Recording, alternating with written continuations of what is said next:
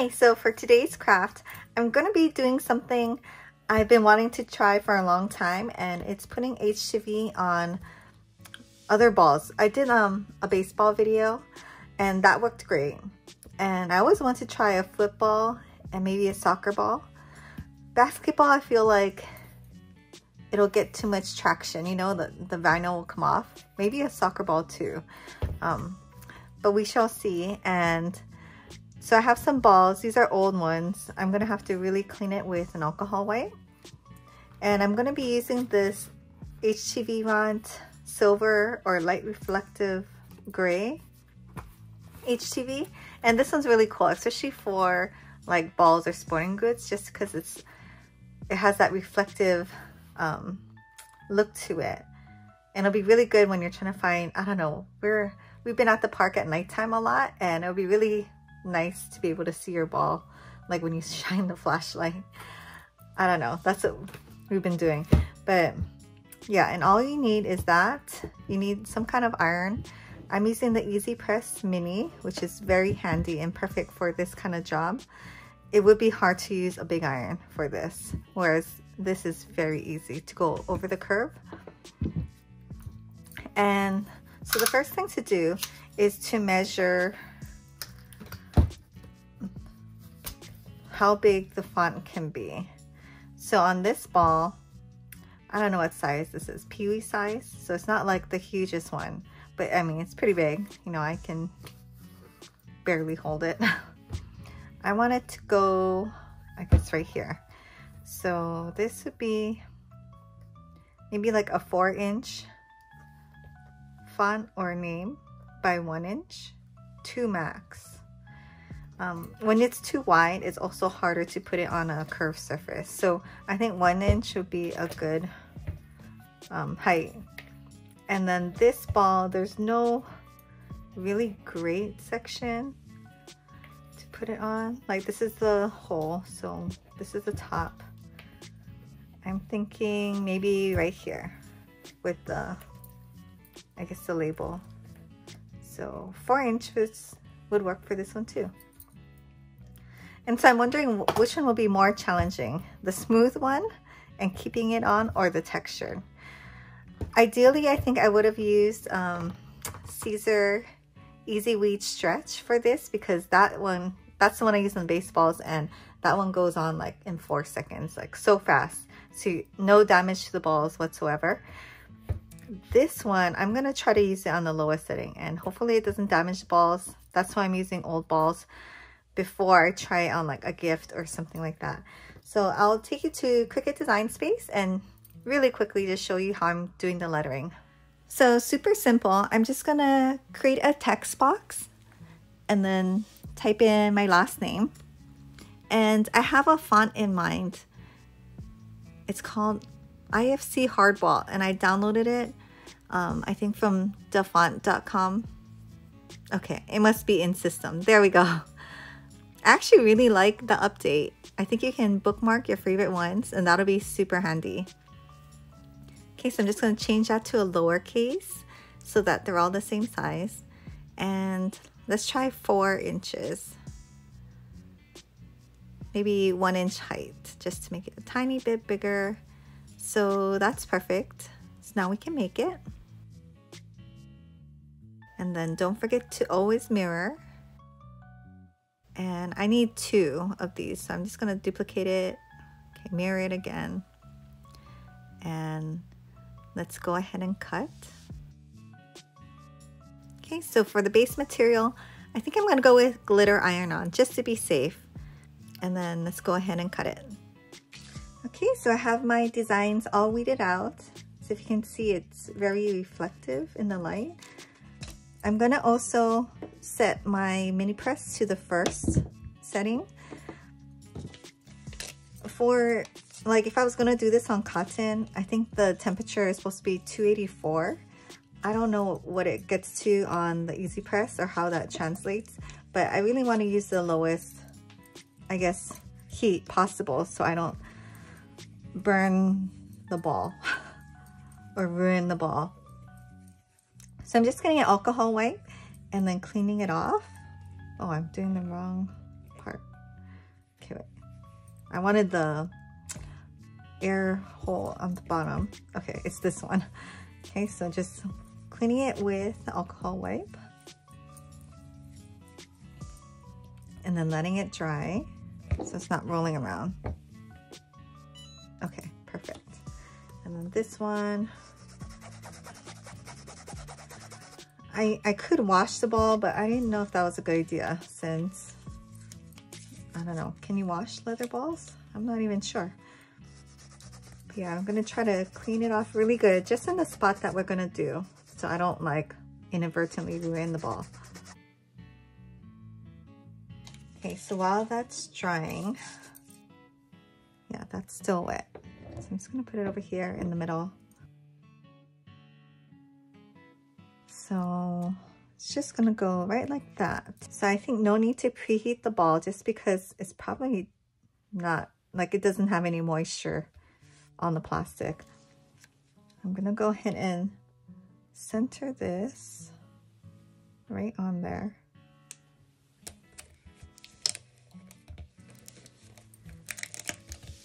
And this carrier sheet's a little bit sticky, so it really gets on there good.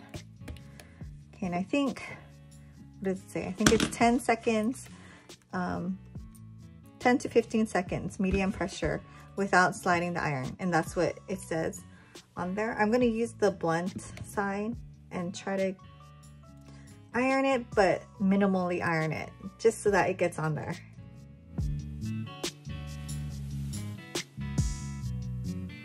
And then I'm gonna go backwards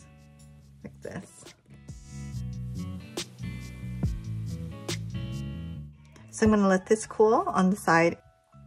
Actually, I let this one cool a little bit because I think I did do it a little bit too much.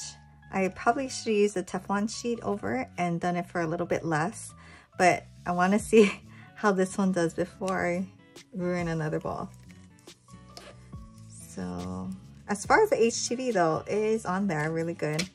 I probably just didn't have to do it for as long. I could have probably just done it for a couple seconds, but it did melt the ball a little bit. Like where it's bubbling, can you see that? So if I was gonna do this as a gift, I would definitely do it less. This is just their old ball, so no worries, but it was a good thing to try it on the older ball. So now let's try the football. Hopefully this works out. It's finally dry. I'm going to align this with the middle. Okay, this time I will use the Teflon sheet just to protect the rest of the ball surface and just go maybe like a couple seconds you know, I have to go a little bit longer. And I probably have to push down harder.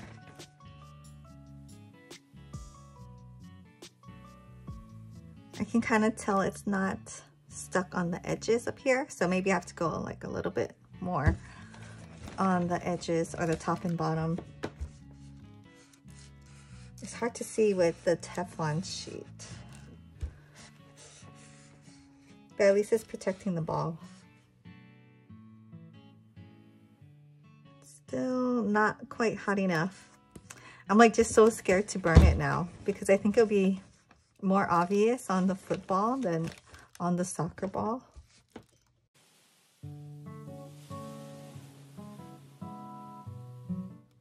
Yeah, definitely gonna have to do it longer.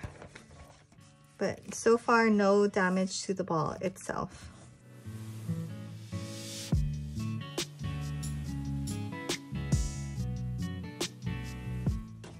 Okay, so I'm gonna let this cool fully before trying to take it off.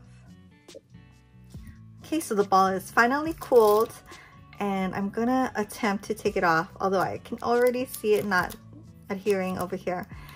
If it doesn't work, I'm gonna go ahead and try the Siser Easy EasyWee because yeah, I mean, that would probably work. So, okay, yeah, this doesn't work on this texture so sad because reflective would have been nice.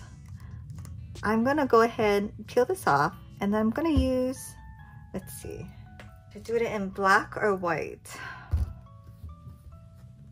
I feel like black would just blend in, but white would be really obvious.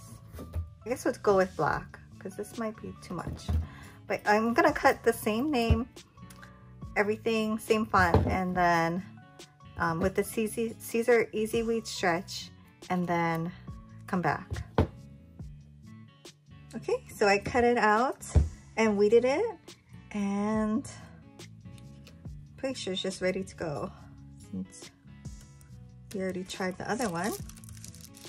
This one, the carrier sheet is not as sticky. And I think I won't use the Teflon sheet this time. I'll just go over it carefully because I know this um, HTV goes on very quickly. So just try it out.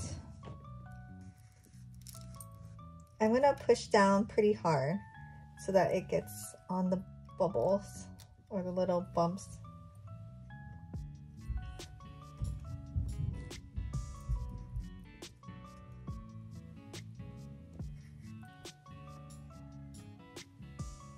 yeah, this one just goes right on so fast.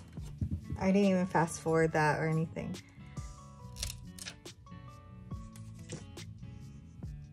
Still kind of hot. Maybe I should have done it in white. Oh well. I think I'll just go over it real quick.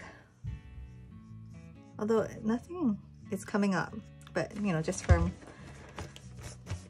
for me, I just want to do it so with this, you can just kind of slide around it, make sure it's really on there.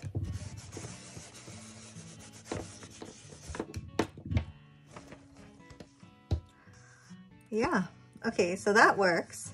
Um, I don't know how long these will last with the kicking and the throwing and the grass, but if this falls off, I will mention it in the comments. It might be like months from now though. It's not like we use these balls all the time. Um, but yeah, so for shiny or slippery vinyl balls, you can use the reflective and probably any one that you want. Just go easy on the heat because you can um, melt it. Footballs, I think you have to go with like a really thin vinyl, such as the Siser Easy Weed Stretch.